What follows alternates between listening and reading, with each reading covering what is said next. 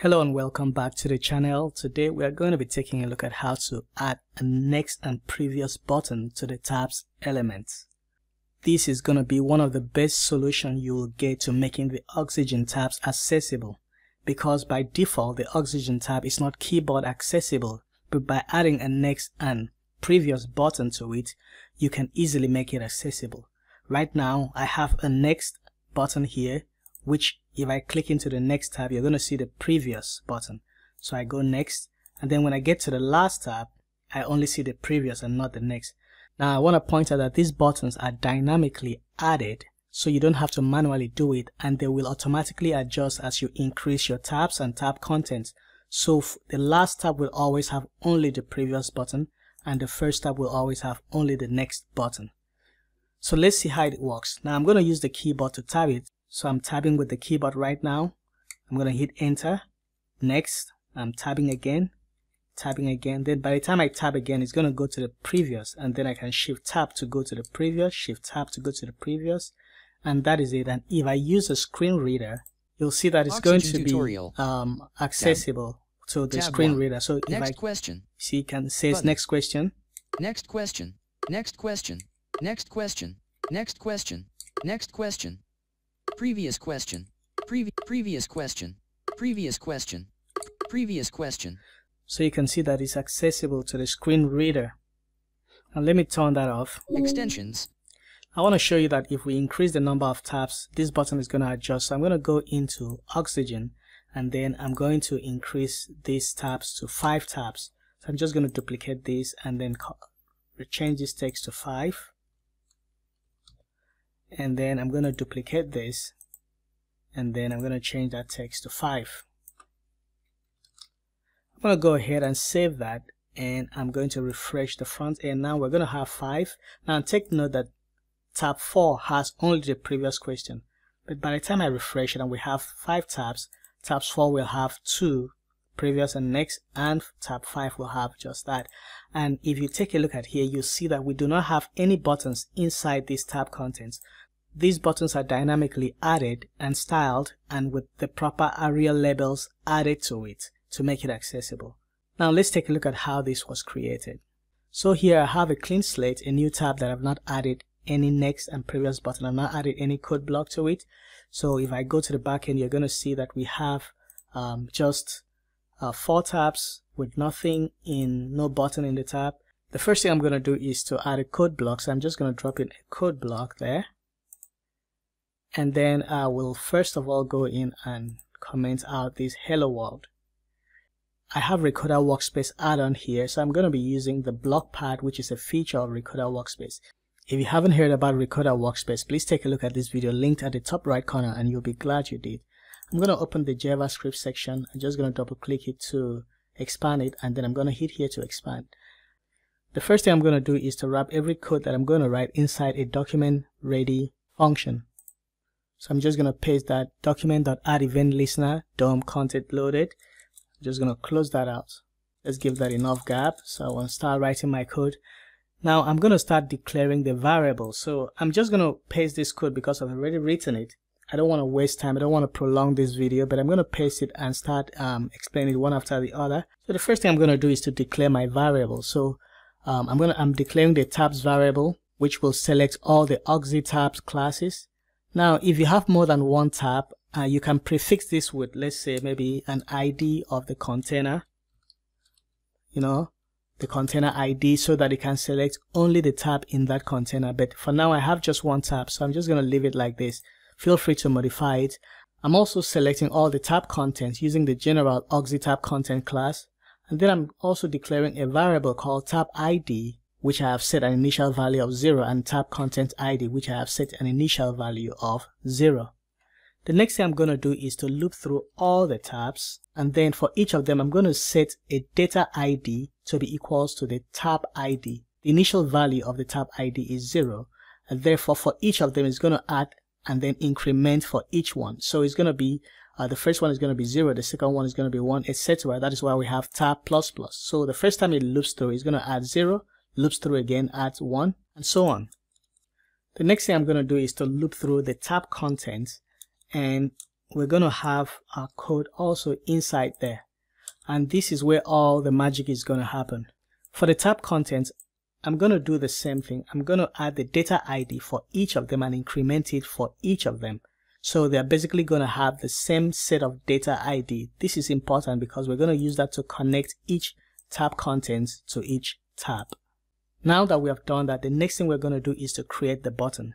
So I'm going to create two buttons. The first one is going to be next button and which is going to be document.createElement button. So we're using a button, we're creating a button element and we're going to create another button called previous button.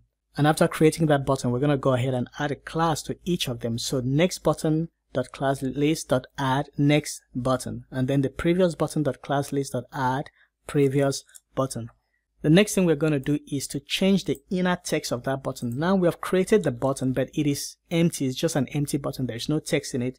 So we want to add text inside it. So the previous button inner text is going to be previous question. Uh, of course, this feel free to change this uh, to whatever you want to. You know, you can just call it previous, anything you want to call it. And the next button dot inner text is going to be next question. So this is basically the text inside the button. And after that, we're going to assign aria labels to each of these buttons. So I'm going to assign, so I'm saying next button dot set attribute aria label now we're going to use the inner text as the aria label. You can feel free to change this to anything you want. But remember, if you're going to change this to a text, you're going to wrap it in a quotation mark like this, like a string. But because I'm using a variable, I can just drop that variable here. So for this next button, the aria label will be previous question. And then for the previous button, the aria label will be next. Uh, did I say, sorry, this is supposed to be the first one. So let me just bring that first. So now we have created a button. I'm going to save this and then take a look at the front end so far. As you can see, there's really nothing here because the button is created, but we have not yet added it to our document, but it's just there somewhere. So the next thing we're going to do is to start adding this button. The first button we're going to add is the next button. Now, let's take a look at the previous uh, uh, original example. Now, take note that the next button is only added to the first and then second, third, fourth is not added in the last. So the last one will not have it. So the first one and all others will have except the last. So we need a logic that will say if the tab index of the content is equals to zero, that is the data ID is equals to zero because we have added those data ID. If it is equals to zero, we want it to have that next button. So if it is equals to one, two, three, four, five minus one. So we want to add from here okay we don't want it to add to the last so I'm just going to paste the code that represents that logic. So we're saying if tab content.dataset.id is equals to 0 or tab content.dataset.id is less than tab contents.length minus 1, tab content.append next button. So we're appending the next button. And then for the previous button, that one is very easy. All we need to do is to add it if the tab contents data ID is greater than zero. So once it is greater than zero, meaning it's not the first one, we're gonna it's gonna be on every other one except the first one. So I'm gonna add that piece of code that says if tab contents.dataset.id is greater than zero, then tab content.append previous button. So we are appending the previous button. So I'm gonna save it and then I'm going to refresh and see what happens uh, I'm not seeing any button. I'm just quickly going to check check the console if there is any error. And there is no error. Okay, let's head back to Oxygen. What I'm supposed to do is to commit these, um, because I'm using the block pad, I need to commit it to the code block. So, um, because the block pad, once you finish using it, you have to commit it to the code block, or you make sure your cursor is inside the code while you are pressing the save button. So that is going to commit it automatically to the code block. So that is the reason.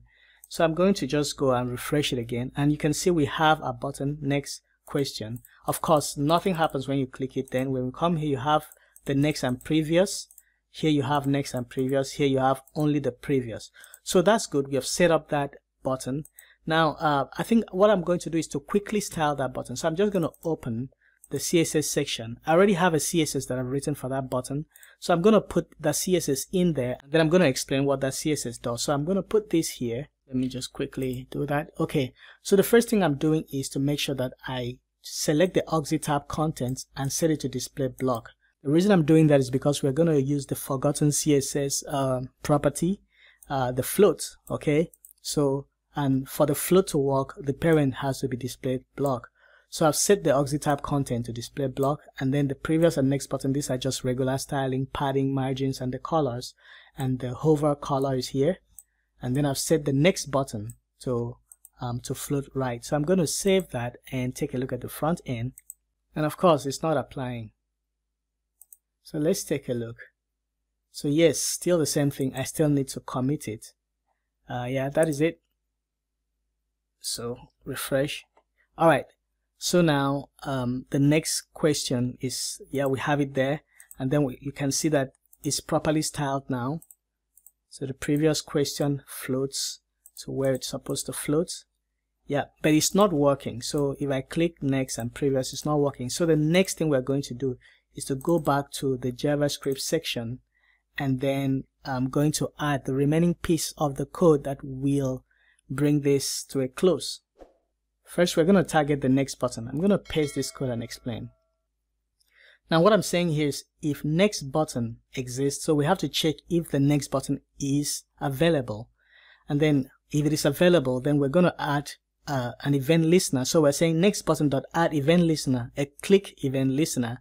And then once we declare that event listener function, we're going to, um, you know, prevent the default action of the button. I mean, though there shouldn't be any default action, but it's a good practice to always prevent the default. Then we're going to look through each of the tabs. Then we're going to check for the tab data ID. And if the tab data ID is equal to, to the current tab content data ID, then we want to select that tab's next element sibling. Now remember that all this is inside the for each loop of the content. So we're saying for each of the content, go through the tabs and check the tab that has the data ID as this same uh, tab content. And then if you find that, click the next element sibling. So it's going to click the next tab. So that's it for the next button. Then we're going to do another one for the previous button for the previous button, I'm going to paste this code here. And then we are saying if the previous button exists, then add event listener and prevent default also. Then we're going to loop through the tabs for each of the um, tab content we are currently at and check the tab ID that has the same data ID as this current tab content. And then we're going to say tab.previous element sibling dot click. So we're going to click the previous element sibling of the tab that corresponds to the data ID of the current tab content.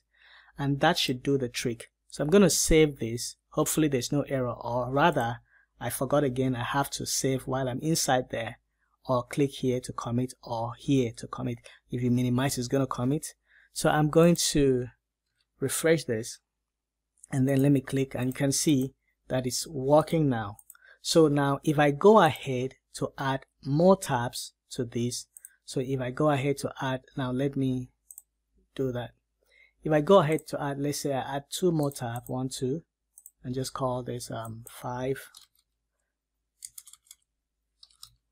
Call that five and then I'm gonna call this six. And I'm gonna do the same to the tab content one two. So for this one um five uh, yep that will be five. And this will be 6. So I'm going to just save that and then check out the front end.